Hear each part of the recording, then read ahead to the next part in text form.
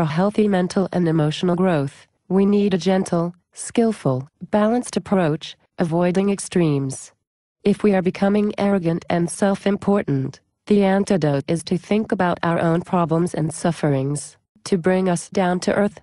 But if we are feeling overwhelmed, discouraged, helpless and depressed, it's important to reflect on our positive qualities or achievements to uplift our minds.